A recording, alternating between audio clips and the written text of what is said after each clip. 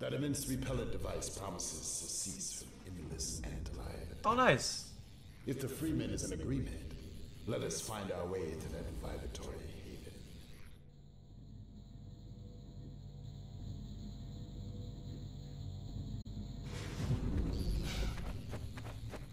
I think it's better if I don't comment on that.